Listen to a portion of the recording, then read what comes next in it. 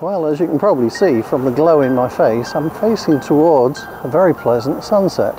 If I spin you round, I'll show you. I'm at a place called Hatchet Pond, which is in the New Forest. It's uh, actually it's a lake, but uh, they call it pond, and we've got a really nice sunset happening. So I've done several panoramas, um, of which I'll show you one of the one of them here are a series of images that I've taken which I'm hoping to stitch together in post-production to actually make a half reasonable image from it but I'm just waiting around to see how much more colour. I think we're losing the colour in the sky now.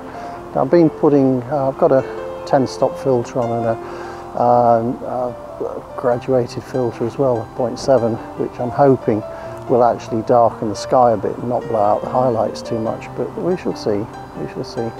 Um, but the 10 stops pretty much do actually stop the ripples on the water so give me a reflection of sorts in that. So I'll put the pictures up and you'll be able to see what you think.